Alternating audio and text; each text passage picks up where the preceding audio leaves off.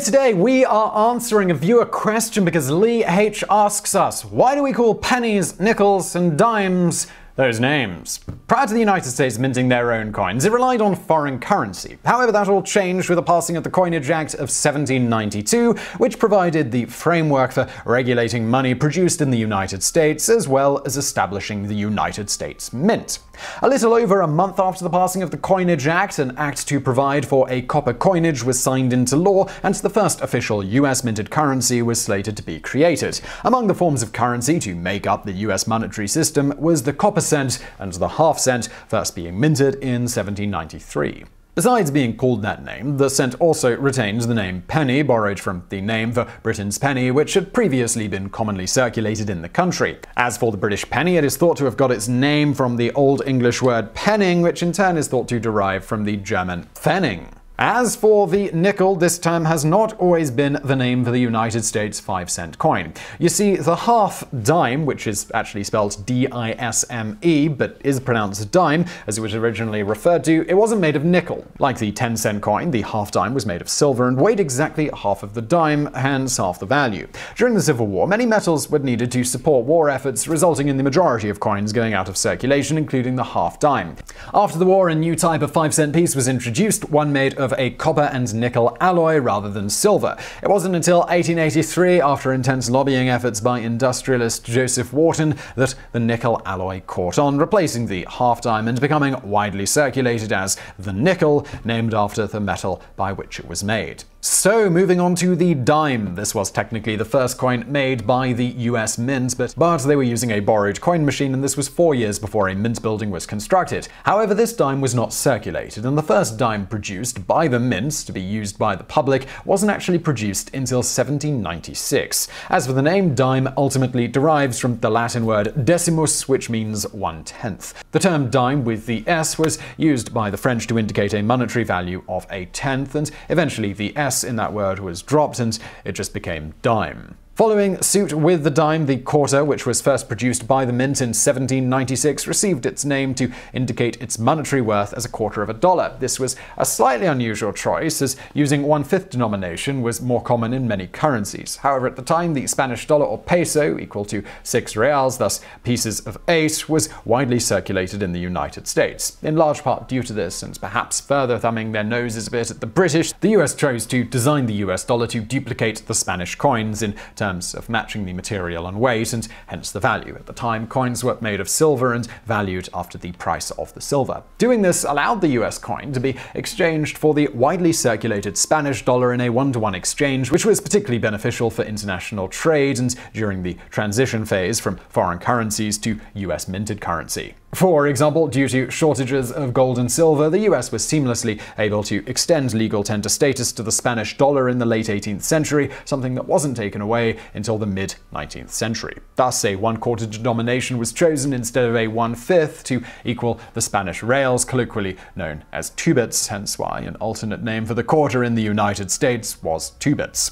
The name dollar derives from the word thaler, which is an abbreviation of the word Joachimsthaler, a coin type made from silver mined in Bohemia that was first minted in 1519. Eventually, that mouthful of a name was just shortened to thaler, and most notably for the topic at hand, ultimately lent its name to the Spanish pieces of eight, also called the Spanish dollar. As the US dollar was modeled after the pieces of eight, it was natural enough to borrow dollar from the colloquial name for the Spanish currency. As for how the dollar ultimately became known as a buck, one of the earliest references of of this was in 1748, about 44 years before the first US dollar was minted, where there is reference to the exchange rate for a cask of whiskey traded to Native Americans being five bucks, referring to deerskins.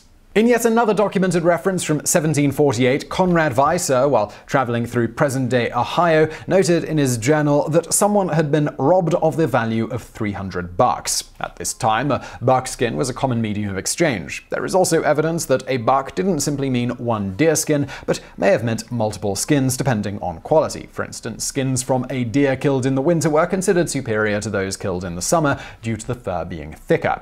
It is thought that the highest quality skins were generally assigned a one to one value, with one skin equaling one buck. In contrast, for lower quality skins, it might take several of them to be valued at a single buck. The specific value for given sets of skins was then set at trading. In addition, when the skin was from another animal, the number of skins required to equal a buck varied depending on the animal and the quality of the skin. For instance, there is one documented trade where six high quality beaver skins or 12 high quality rabbit pelts each equaled one buck.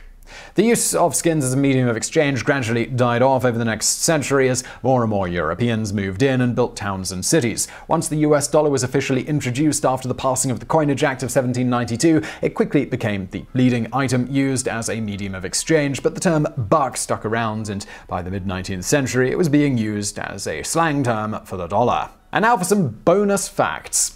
Ever wonder where the expression dollars to donuts comes from? Well, want to know more. Dollars for donuts, or alternatively, dollars to donuts, meaning a safe bet or sure thing, at least in its documented form in a February 6, 1876 edition of the Daily Nevada State Journal. It reads Whenever you hear any resident of a community attempting to decry the local paper, it's dollars to donuts that such a person is either mad at the editor or is owing the office for subscription or advertising. It again appeared in that same newspaper a little over a month later on March 11, 1876, where it stated Several Renoites took advantage of the half fare tickets offered to those who were to attend the ball given by the railroad boys at Carson last night and attended it. It's dollars to donuts, all enjoyed themselves.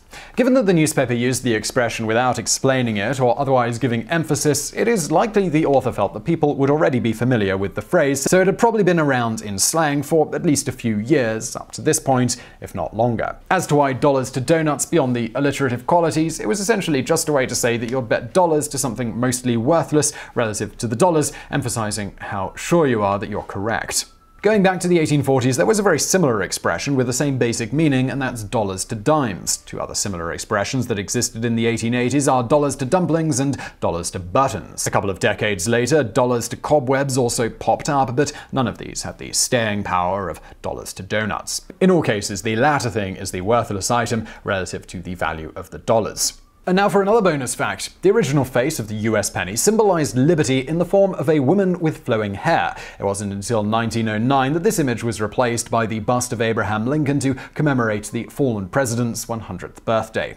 And now for another bonus fact. The Thomas Jefferson nickels were first minted in 1938. The design for these 5 cent pieces resulted from a contest held by the United States Mint, the reward being $1,000. Out of the 390 contestants, the winner with the best design was Felix Schlag, a German immigrant who had only been a United States citizen for nine years. As part of his design for the Jefferson nickel, Felix Schlag chose to depict Thomas Jefferson's Virginia home, the Monticello.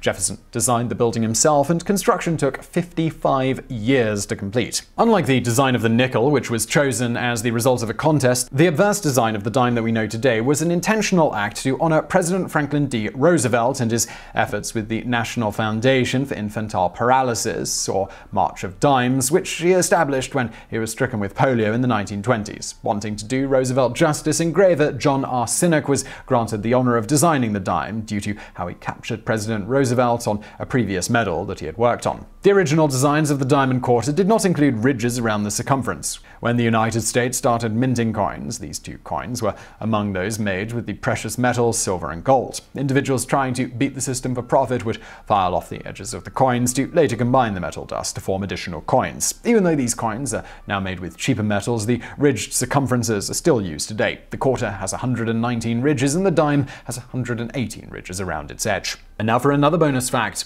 Not wanting even the smallest suggestion of a tyrannical mindset to be associated with his presidency, George Washington refused the honor of having his visage on US currency. Later on, the tradition that was born out of this became an actual federal law, stating not only that living presidents could not be featured on money, but that a president had to be dead for at least two years before his portrait could be printed on US currency. And now for another bonus fact. The average life of most coins is 25 years, whereas the lifespan for the average dollar is only 18 months, leading some to push hard for a switch from paper dollars to coins, but there's been no real luck. When coins become too old and worn to be in circulation, the United States Mint recycles them, and any usable material from these coins is turned into coinage strips for new coins.